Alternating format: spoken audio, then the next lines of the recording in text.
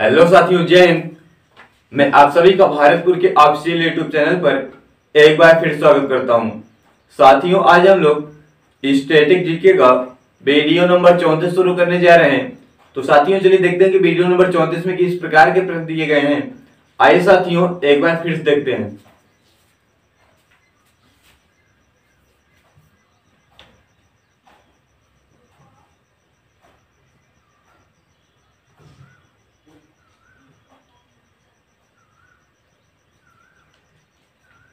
साथियों प्रश्न नंबर पहला दिया गया है।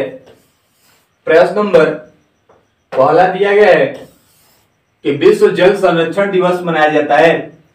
सभी साथी इस प्रश्न का आंसर करेंगे कि विश्व जल संरक्षण दिवस कब मनाया जाता है। पहला आप, आपका ऑप्शन दिया गया है इक्कीस जून। बी आपका दिया गया है इकतीस मई। सी आपका दिया गया तेरह फरवरी। और डी आपका दिया गया है बाईस मार्च।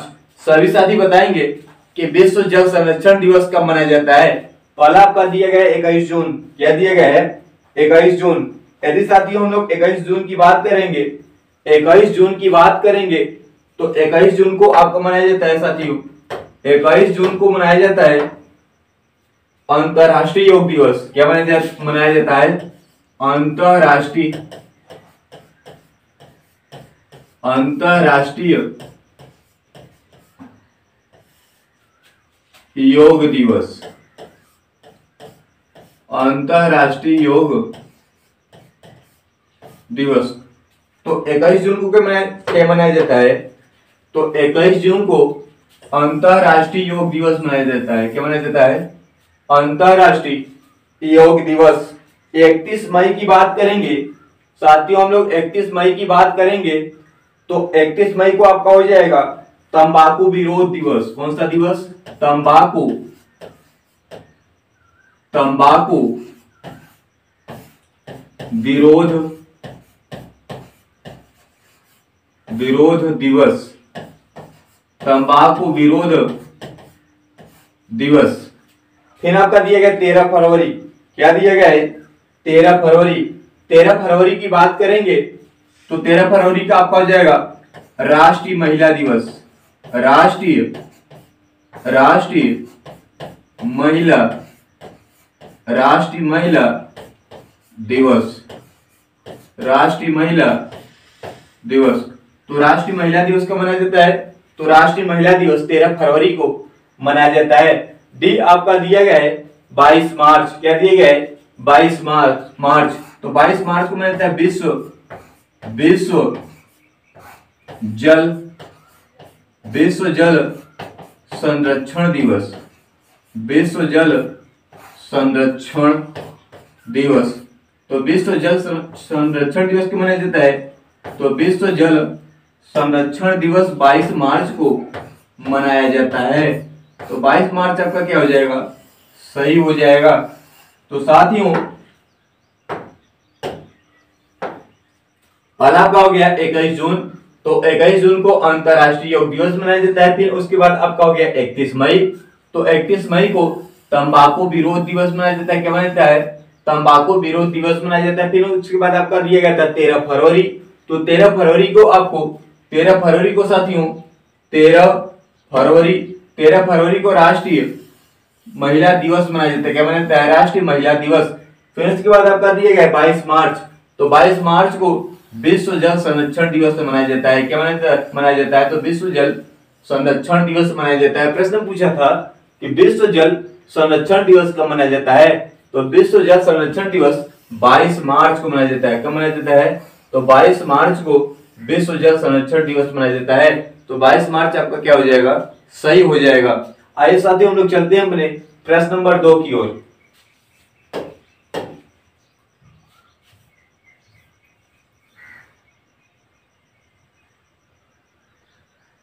साथियों, प्रश्न नंबर दो दिया गया है। प्रश्न नंबर दो दिया गया है कि कर्क रेखा किस राज्य से होकर नहीं गुजरता है। कर्क रेखा किस राज्य से होकर नहीं गुजरता है। तो कर्क रेखा की बात करेंगे हम लोग। तो कर्क कर्क रेखा कर्क रेखा भारत के भारत के आठ आठ राज्यों, भारत के आठ राज्यों से होकर गुजरता है। होकर गुजरता है। तो कर्क रेखा भारत के आठ राज्यों से होकर गुजरता है। और बात करेंगे कर्क रेखा की तो कर्क कर्क रेखा माही नदी को, माही नदी को दो बार काटती है। कितनी बार? दो बार काटती है। दो बार काटती है। तो साथियों प्रश्न कई बार पूछा गया है कि कर्क रेखा किस नदी को दो बार काटती है? तो कर्क रेखा माही नदी को दो बार काटती है। और कर्क रेखा भारत के कितने राज्यों से होकर गुजरती है? तो कर्क रेखा भारत के आठ राज्यों से होकर गुजरती है। और साथियों, इसमें प्रश्न पूछा कि कर्क रेखा किस राज्य से होकर नहीं गुजरता है? तो कर्क रेखा उत्तर प्रदेश राज्य से होकर नहीं गुजरता है। तो उत्तर प्रदेश आपका क्या हो जाएगा? सही हो जाएगा। कर्क रेखा उत्तर प्रदेश राज्य से होकर नहीं गुजरता है, जबकि गुजरात राजस्थान मिजोरम राज्य से होकर गुजरता है। कर्क रेखा आठ राज्यों से होकर गुजरता है और कर्क रेखा माही नदी को दो बार काटती है। कितनी बार? तो कर्क रेखा माही नदी को दो बार काटती है। तो साथियों, प्रश्न नंबर दो का ऑप्शन नंबर सी क्या हो जाएगा? सही हो जाएगा। कर्क रेखा किस राज्य से होकर नहीं गुजरता है? तो कर्क रेखा उत्तर प्रदेश राज्य से होकर नहीं गुजरता है। आइए साथियों, हम लोग चलते हैं पहले तीसरे प्रश्न की ओर।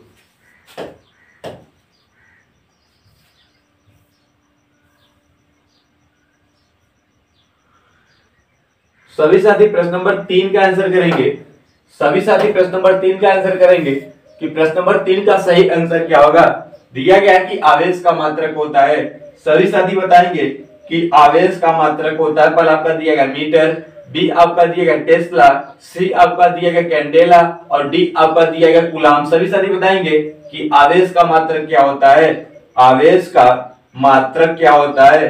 तो आवेश का मात्रक की बात करेंगे हम लोग। तो आपका दिया गया मीटर क्या दिया गया मीटर। तो मीटर हो गया लंबाई।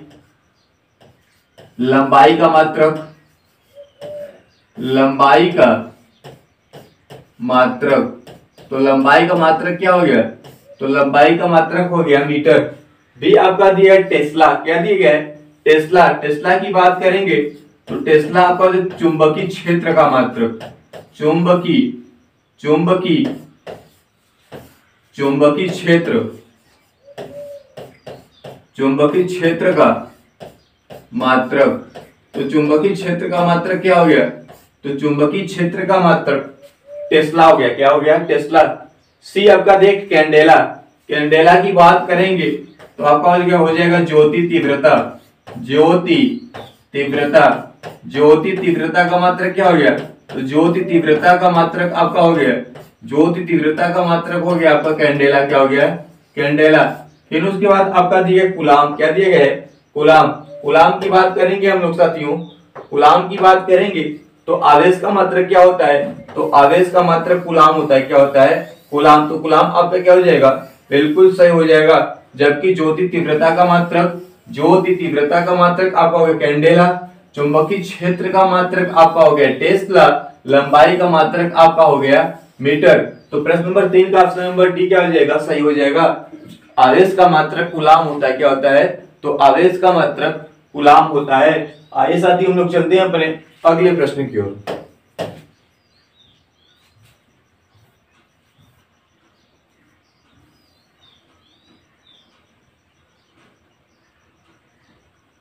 सभी साथी बताएँगे? सभी साथी बताएँगे? प्रश्न नंबर चार का आंसर करेंगे कि इनमें से कौन सी रबी की फ़सल है? सभी साथी बताएँगे कि इनमें से कौन सी रबी की फ़सल है? आपका ऑप्शन ए दिया गया धान बी दिए गए आलू सी दिए गए गेहूँ और डी दिए गए इनमें से कोई सही सारी बताएँगे कि इनमें से कौन सी रबी की फ़सल है? इनमें से कौन सी रबी की फ़सल है? कौन सी रबी की फ़सल है? तो साथियों, रबी की फ़सल की बात करेंगे। रबी की फ़सल तो रबी रवि की फ़सल तो रवि की की फ़सल के अंतर्गत क्या क्या आते हैं? तो रवि की फ़सल के अंतर्गत क्या क्या आते हैं आप लोग बताएँगे? रवि की फ़सल के अंतर्गत क्या क्या आते हैं आप लोग बताएँगे? आपका गया गेहूँ, जौ, चना, मटर। गेहूँ गेहूँ, जौ, चना, मटर। गेहूँ जौ चना, मटर सब किसके फ़सल है? तो सब रबी के फ़सल हो जाते हैं। और फिर उसके बाद आपका हो गया? सरसों क्या हो गया? सरसों। तो सरसों भी रबी की फ़सल के अंतर्गत आता है। किसके अंतर्गत? तो सरसों भी रबी की फ़सल के अंतर्गत आता है। तो आपका पूछा कि इनमें से कौन सी रबी की फ़सल है? इनमें से कौन सी रबी की फ़सल है? साथियों, आप लोग बताएँगे कि इनमें से कौन सी रबी की फ़सल है।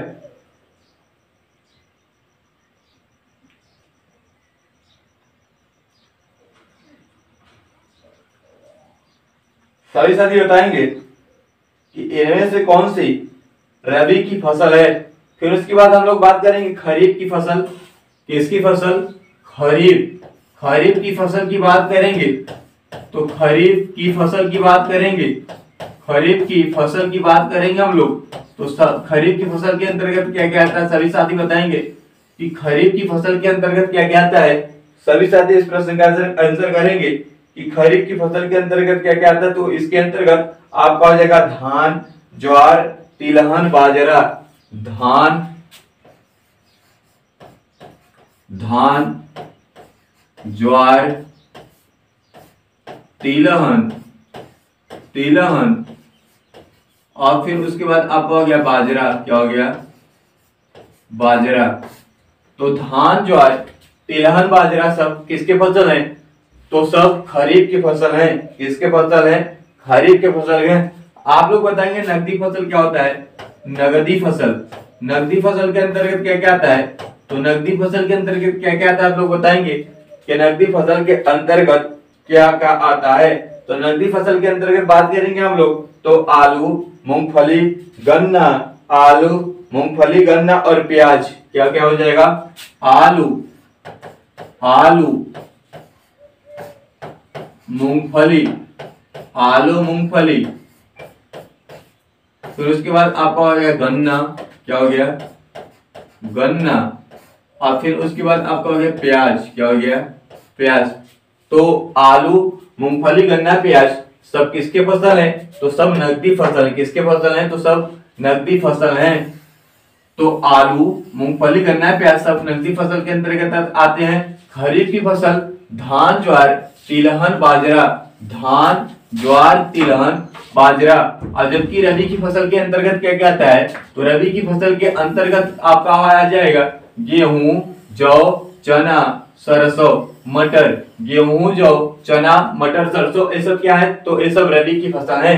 तो प्रश्न क्या पूछा कि इनमें से कौन सी रबी की फ़सल है? धान आपका दिया गया है। तो धान किसकी फ़सल है? तो धान खरीफ की फ़सल है। फिर उसके बाद आलू दिए गए तो आलू नकदी की फ़सल है। फिर उसके बाद गेहूँ दिया गया है। तो गेहूँ किसके अंतर्गत आता है? तो गेहूँ खरीफ की फ़सल के अंतर्गत आता है। तो गेहूँ आपका क्या हो जाएगा? सही हो जाएगा। गेहूँ आपका क्या हो जाएगा? तो गेहूँ आपका बिल्कुल सही हो जाएगा।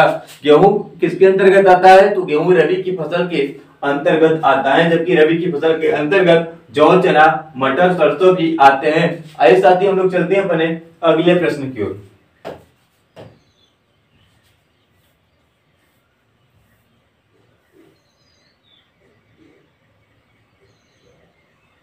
सभी साथी प्रश्न नंबर पाँच का आंसर करेंगे। सभी साथी प्रश्न नंबर पाँच का आंसर करेंगे। दिया गया कि निम्नलिखित में से कतर की राजधानी है। सभी साथी बताएँगे कि कतर की राजधानी कौन सा है? पहला आपका दिया गया सीओल, बी दिया गया टोक्यो, और सी दिया गया विक्टोरिया, डी दिया गया दोहा। सभी साथी बताएँगे कि कतर की राजधानी कौन है? कतर की राजधानी कौन है? पहला आपका दिया गया सियोल क्या दिया गया सियोल पहला आपका दिया गया सियोल सियोल की बात करेंगे तो हो जाएगा दक्षिण कोरिया। दक्षिण कोरिया की राजधानी। दक्षिण दक्षिण कोरिया। दक्षिण कोरिया। दक्षिण कोरिया की राजधानी क्या हो गया? तो दक्षिण कोरिया की राजधानी आपका गया सियोल। क्या हो गया? सियोल बी दिया गया। टोक्यो।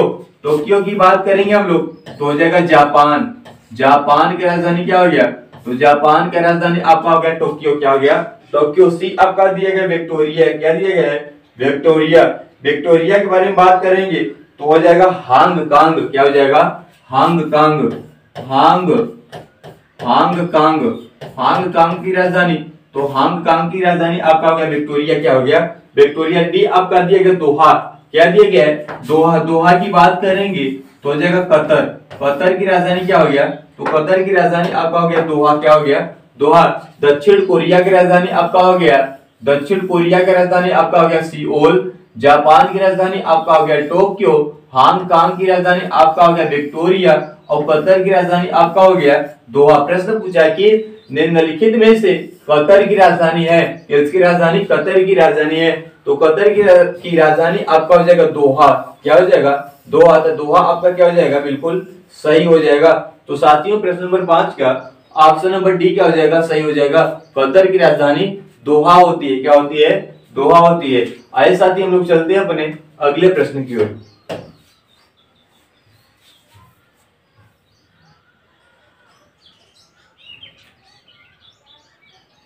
साथियों, प्रश्न नंबर पाँच छह दिया गया है। प्रश्न नंबर छह दिया गया है कि निम्नलिखित में से बहरीन देश की मुद्रा है। आप लोग बताएँगे कि बहरीन देश की मुद्रा कौन सी है? पहला आपका दिया गया डांग बी दिया गया लीरा, सी आपका दिया गया दीनार, और डी आपका दिया पटाखा। क्या दिया गया पटाखा।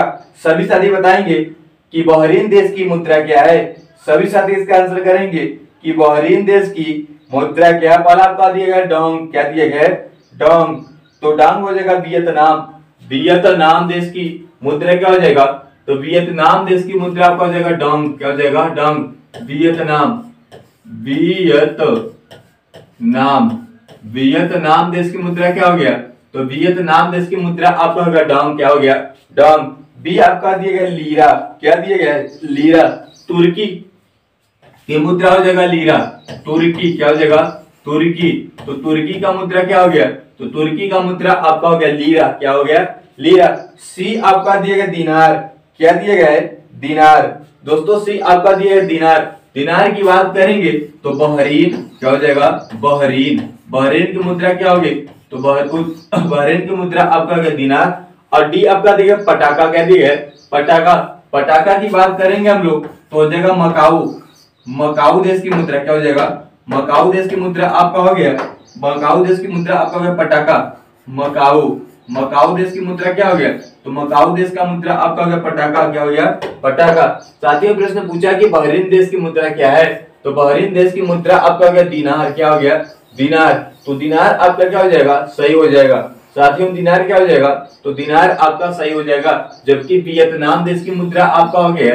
वियतनाम देश की मुद्रा आपका हो गया डांग। तुर्की देश की मुद्रा आपका हो गया लीरा। बहरीन देश की मुद्रा आपका हो गया दिनार और जबकि मकाऊ देश की मुद्रा आपका क्या पटाखा क्या हो गया? पटाखा। तो आइए साथ ही हम लोग चलते हैं अपने अगले प्रश्न की ओर।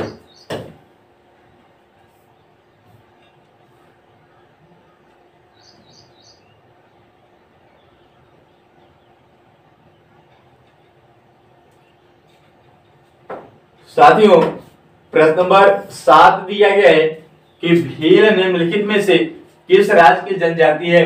भील जाति किस राज्य की जनजाति है? सभी साथी बताएँगे कि भील जाति किस राज्य की जनजाति पहला आपका दिया गया गुजरात। क्या दिया गया गुजरात। बी आपका दिया गया जम्मू कश्मीर। सी आपका दिया गया केरल। डी आपका दिया गया महाराष्ट्र। सभी साथी बताएँगे कि भील जनजाति किस राज्य में पाई जाती है? सभी साथी इस प्रश्न का आंसर करेंगे। सभी साथी बताएँगे कि भील जाति किस राज्य की जनजाति है? पहला आपका दिया गया गुजरात, बी आपका दिया गया जम्मू कश्मीर, सी आपका दिया गया केरल, डी आपका दिया गया है महाराष्ट्र। महाराष्ट्र की दोस्तों बात करेंगे, साथियों, महाराष्ट्र की बात करेंगे हम लोग। तो महाराष्ट्र की बात करेंगे तो हो जाएगा बारली, कोली गोंड। बारली बारली बारली कोली, बारली कोली और फिर आपको, आपका हो जाएगा गौड़ क्या हो जाएगा? गौड़ बार्ली पोलीगौड़ किस राज्य की जनजाति है? तो महाराष्ट्र की जनजाति है। सी की बात करेंगे केरल तो हो जाएगा मोपला, इरूला। मोपला, इरूला। अब क्या हो जाएगा मोपला, इरूला, क्या हो जाएगा? मोपला। मोपला। और आपका हो गया इरूला। मोपला और क्या हो गया? तो मोपला और हो गया, इरोला क्या हो गया? इरूला। बी आपका दिएगा जम्मू कश्मीर। क्या दिएगा? जम्मू कश्मीर के बारे में बात करेंगे। तो आपका क्या हो जाएगा? गुज्जर चंपा और गड्डी। क्या हो जाएगा? गुज्जर। गुज्जर। और आपका हो गया चंपा क्या हो गया? चंपा और आपका हो गया गड्डी। क्या हो गया? गड्डी। तो गुज्जर चंपा गड्डी किस राज्य की जनजाति है? तो गुज्जर चंपा गड्डी जम्मू कश्मीर राज्य की जनजाति है। ये आपका दिया गुजरात, क्या दिया गया है? गुजरात के बारे में बात करेंगे हम लोग। तो भील बंजारा डाफर, क्या हो जाएगा? भील भील बंजारा भील बंजारा और आपको अगर डाफर, क्या हो गया? डाफर। तो भील बंजारा डाफर किस राज्य की जनजाति है? तो भील बंजारा डाफर। आपका गुजरात राज्य की राजधानी हो जाती है। सॉरी दोस्तों, गुजरात राज्य की जनजाति हो जाती है। तो दोस्तों, प्रश्न पूछा है कि भील जनजाति निम्नलिखित में से किस राज्य में पाई जाती है? तो भील जनजाति, साथियों, भील जनजाति गुजरात राज्य में पाई जाती है। किस राज्य में पाई जाती है? तो गुजरात राज्य में पाई जाती है। तो गुजरात राज्य आपका क्या हो जाएगा? बिल्कुल सही हो जाएगा। क्या हो जाएगा? बिल्कुल सही हो जाएगा। जबकि गुज्जर चंपा गुज्जर चंपा गड्डी जम्मू कश्मीर, मोपला, एरोला। तो मोपला, एरोला आपका हो गया केरल, बारली कोलू गौड़ बारली, कोलू और गौड़ आपका हो गया महाराष्ट्र, क्या हो गया? महाराष्ट्र। आइए साथी हम लोग चलते हैं अपने अगले प्रश्न की ओर।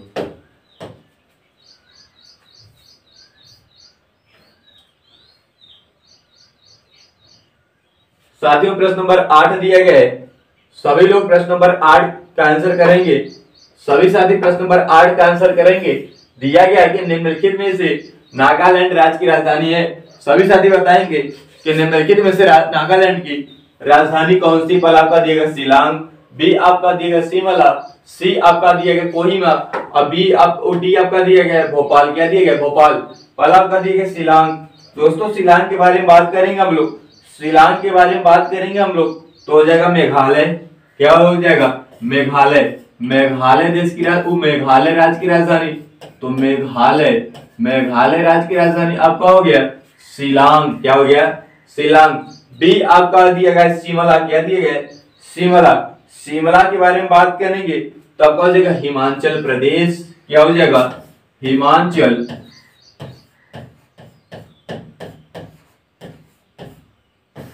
हिमाचल प्रदेश।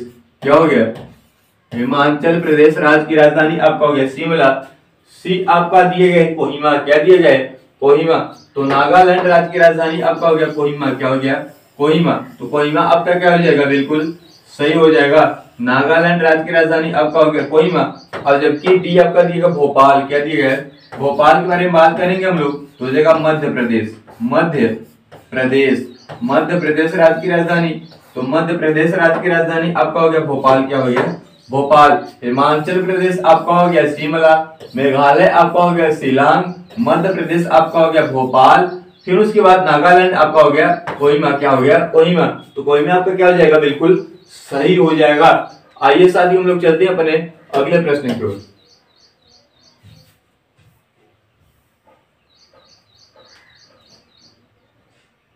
सभी साथी प्रश्न नंबर नौ का आंसर करेंगे कि प्रश्न नंबर नौ का सही आंसर क्या होगा? दिया गया कुत्ता में गुणसूत्र की संख्या पाई जाती है। सभी साथी बताएँगे कि कुत्ता में गुणसूत्र की संख्या कितनी पाई जाती है? पाल आपका दिया गया अठहत्तर। कितना दिया गया? अठहत्तर। फिर उसके बाद आपका दिया गया अस्सी। सी आपका दिया गया चौसठ। डी आपका दिया गया छियालीस। सभी साथी बताएँगे कि कुत्ता में गुणसूत्र की संख्या कितनी पाई जाती है? कुत्ता में गुणसूत्र की संख्या कितनी पाई जाती है? आप लोग बताएँगे कि कुत्ता में गुणसूत्र की संख्या कितनी पाई जाती है? सभी साथी इस प्रश्न का आंसर करेंगे कि इस प्रश्न का सही आंसर क्या होगा? सभी साथी बताएँगे। पहला आपका दिया गया अठहत्तर, क्या दिया गया? अठहत्तर। और फिर उसके बाद दिया गया अस्सी सी दिया गया चौसठ डी आपका दिया गया है, छियालीस। छियालीस की बात करेंगे। दोस्तों, छियालीस की बात करेंगे तो मनुष्य में मनुष्य में गुण गुणसूत्रों की संख्या में गुण सूत्रों की संख्या तो मनुष्य में गुणसूत्रों की संख्या कितनी पाई जाती है? तो मनुष्य में गुणसूत्रों की संख्या छियालीस पाई जाती है। सी आपका दिए चौसठ क्या दिया गया चौसठ। चौसठ की बात करेंगे तो घोड़ा में गुणसूत्रों की संख्या? घोड़ा। घोड़ा में गुणसूत्रों की संख्या कितनी पाई जाती है? तो घोड़ा में गुणसूत्रों की संख्या चौसठ पाई जाती है। कितनी पाई जाती है? चौसठ पाई जाती है। बी आपका दिया गया अस्सी। क्या दिया गया अस्सी। अस्सी की बात करेंगे तो देखो कबूतर। कबूतर में गुणसूत्रों की संख्या कितनी पाई जाती है? तो कबूतर में गुणसूत्रों की संख्या अस्सी पाई जाती है। प्रश्न पूछा कि कुत्ता में गुणसूत्रों की संख्या कितनी पाई जाती है? तो कुत्ता में गुणसूत्रों की संख्या अठहत्तर पाई जाती है। कितनी पाई जाती है? अठहत्तर। तो अठहत्तर क्या हो जाएगा? आपका बिल्कुल सही हो जाएगा। जबकि कबूतर में आपका हो गया अस्सी, घोड़ा में आपका हो गया चौसठ, मनुष्य में आपका हो गया छियालीस। कितना हो गया? छियालीस। तो प्रश्न नंबर नौ का ऑप्शन नंबर एक क्या हो जाएगा। बिल्कुल सही हो जाएगा।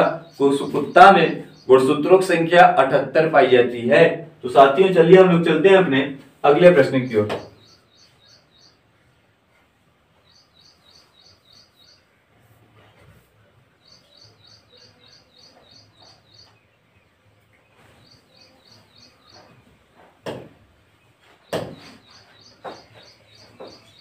साथियों, प्रश्न नंबर दस दिया गया है कि कान्हा किसली राष्ट्रीय उद्यान स्थित है? सभी साथी बताएँगे।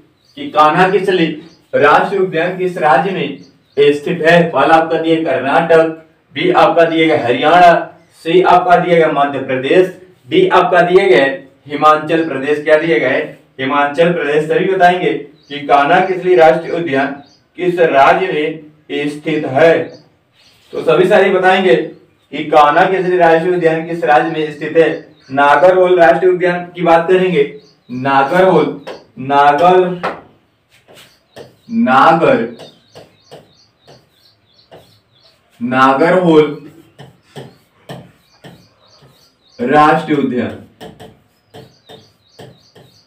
राष्ट्रीय उद्यान. तो नागरहोल राष्ट्रीय उद्यान आपका कर्नाटक राज्य में हो गया, कहा गया? कर्नाटक राज्य में हो गया, बी आपका दिया गया हरियाणा. क्या दिया गया? हरियाणा. हरियाणा की बात करेंगे. हरियाणा की बात करेंगे. तो हरियाणा आपका हो जाएगा साथियों? हरियाणा आपका हो जाएगा? सुल्तानपुर झील अभ्यारण्य। क्या हो जाएगा? सुल्तानपुर। सुल्तानपुर झील अभ्यारण्य। सुल्तानपुर झील अभ्यारण्य। सुल्तानपुर झील अभ्यारण्य किस राज्य में है? तो सुल्तानपुर झील अभ्यारण्य हरियाणा राज्य में हो जाता है। सी आपका दिया गया मध्य प्रदेश। क्या दिया गया मध्य प्रदेश। मध्य प्रदेश की बात करेंगे साथियों। मध्य प्रदेश की बात करेंगे हम लोग। तो मध्य प्रदेश आपका हो गया? कान्हा किसली राष्ट्रीय उद्यान। क्या हो गया?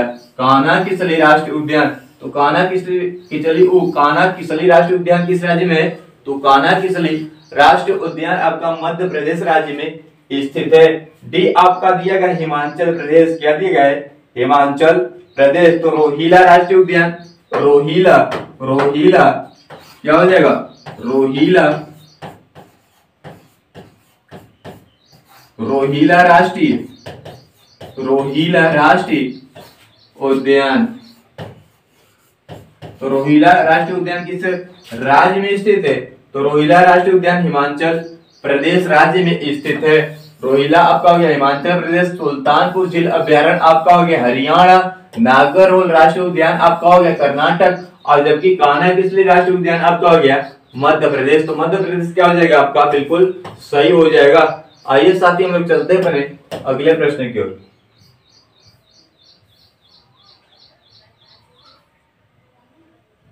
साथियों, प्रश्न नंबर आपका ग्यारह दिया गया है कि नवाबों का शहर किसे कहा जाता है? सभी साथी मिलकर इसका आंसर करेंगे। सभी साथी मिलकर इसका आंसर करेंगे कि नवाबों का शहर किसे कहा जाता है? पहला आपका ऑप्शन दिया है कोलकाता बी आपका दिया लखनऊ सी आपका दिया नई दिल्ली डी आपका दिया वाराणसी। सभी साथी बताएँगे कि नवाबों का शहर किसे कहा जाता है? पहला आपका दिया कोलकाता क्या दिया गया है कोलकाता की बात करेंगे साथियों। कोलकाता की बात करेंगे हम लोग। तो कोलकाता का गया महलों का शहर क्या हो गया? महलों का शहर महलों का शहर महलों का शहर किसे कहा जाता है? तो महलों का शहर कोलकाता को कहा जाता है। बी आपका दिए गए। लखनऊ। क्या दिया गया लखनऊ? तो हो जाएगा नवाबों का शहर नवाबों। का शहर नवाबों का शहर फिर से दिया गया नई दिल्ली। बात करेंगे नई दिल्ली की। तो रैलियों का शहर रैलियों का शहर रैलियों का शहर डी आपका दिए गए वाराणसी मंदिरों एवं मंदिरों एवं घाटों का शहर क्या हो जाएगा? मंदिरों एवं घाटों का शहर घाटों का शहर तो मंदिरों एवं घाटों का शहर किसे कहा जाता है तो मंदिरों एवं घाटों का शहर मंदिरों एवं घाटों का शहर वाराणसी कहा जाता है किसे कहा जाता है वाराणसी कहा जाता है रैलियों का शहर नई दिल्ली का क्यों कहा जाता है किसे कहा जाता है नई दिल्ली को कहा जाता है नवाबों का शहर लखनऊ कहा जाता है महलों का शहर कोलकाता को कहा जाता है प्रश्न पूछा कि नवाबों का शहर किसे कहा जाता है तो नवाबों का शहर लखनऊ को कहा जाता है। किसे कहा जाता है? लखनऊ को कहा जाता है। तो लखनऊ आपका क्या हो जाएगा? सही हो जाएगा। आइए साथी, हम लोग चलते हैं अपने अगले प्रश्न की ओर।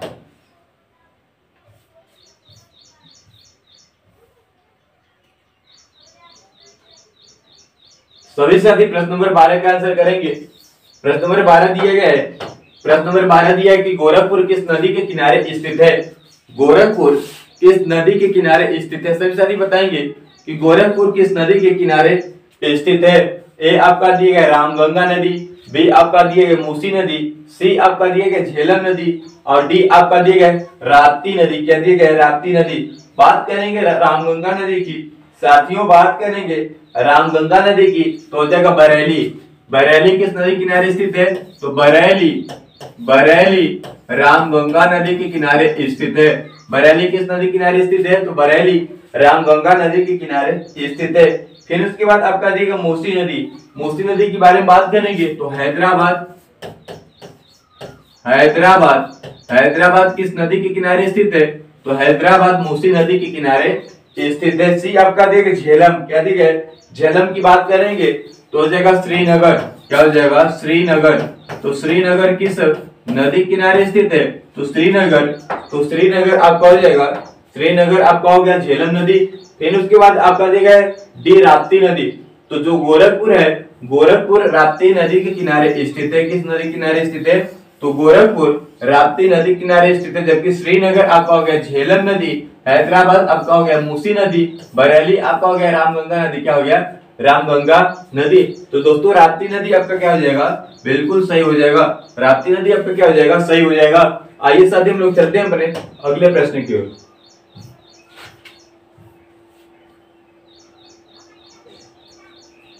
साथियों, प्रश्न नंबर तेरह दिए गए प्रश्न नंबर तेरह दिया गया है कि अधातु में पृथ्वी पर सर्वाधिक मात्रा किसकी पाई जाती है? अधातुओं में पृथ्वी पर सर्वाधिक मात्रा किस किस पाई जाती है? प्रश्न, यह पूछा कि अधातुओं में पृथ्वी पर सर्वाधिक मात्रा किसकी पाई जाती है? सभी साथी बताएँगे।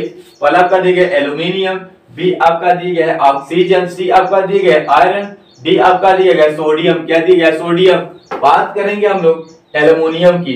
साथियों, बात करेंगे हम लोग एल्यूमिनियम की। तो पृथ्वी पर पृथ्वी पर सर्वाधिक, पृथ्वी पर सर्वाधिक धातुओं में धातुओं में एल्यूमिनियम की मात्रा पाई जाती है। किसकी मात्रा? एल्यूमिनियम। एल्यूमिनियम की मात्रा पाई जाती है। धातुओं में सर्वाधिक किसकी मात्रा पाई जाती है?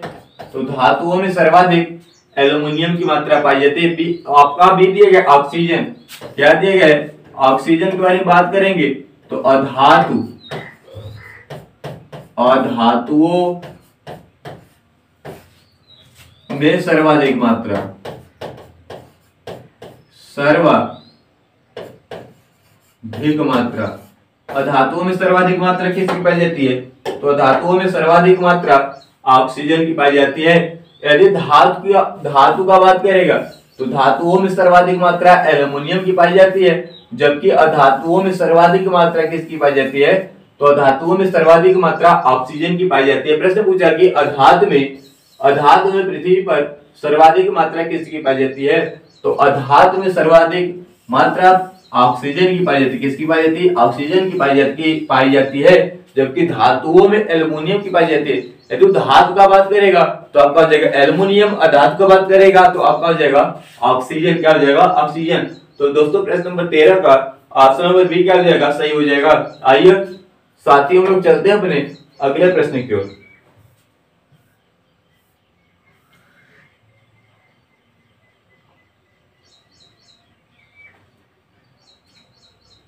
साथियों प्रश्न नंबर चौदह दिया गया है। चौदह दिया कि हरिजन सेवक संघ की स्थापना किसने किया था? हरिजन सेवक संघ की स्थापना किसने किया था? सभी साथी मिलकर आंसर करेंगे। ये प्रश्न नंबर चौदह का सही आंसर क्या होगा? सभी साथी मिलकर इसका आंसर करेंगे। दिया गया कि हरिजन सेवक संघ की स्थापना किसने किया था। पहला आपका दिया गया महात्मा गांधी, बी आपका दिया सुभाष चंद्र बोस, सी आपका दिया गया बी आर अंबेडकर और डी आपका दिया गया एन जोशी। क्या दिया गया एन जोशी। एन जोशी की बात करेंगे हम लोग तो Akhil Bharatiya trade union. N M Joshi की बात करेंगे तो अखिल अखिल भारतीय अखिल भारतीय ट्रेड यूनियन की स्थापना। Trade union. Akhil Bharatiya trade union की स्थापना किसने किया? तो एन एम जोशी ने किया। सी आपका दिए गए, बी आर अंबेडकर क्या दिए गए? बी आर अंबेडकर तो स्वतंत्र श्रमिक पार्टी की स्थापना। स्वतंत्र। स्वतंत्र श्रमिक पार्टी की स्थापना, पार्टी की स्थापना। तो स्वतंत्र श्रमिक पार्टी की स्थापना किसने किया? तो स्वतंत्र श्रमिक पार्टी की स्थापना बी आर अंबेडकर ने किया, किसने किया? बी आर अंबेडकर ने किया। सी आपको बी आपका दिया है, सुभाष चंद्र बोस। के बारे में बात करेंगे। तो फॉरवर्ड ब्लॉक फॉरवर्ड ब्लॉक की स्थापना। क्या हो जाएगा साथियों? फॉरवर्ड ब्लॉक की स्थापना। क्या हो जाएगा? Forward block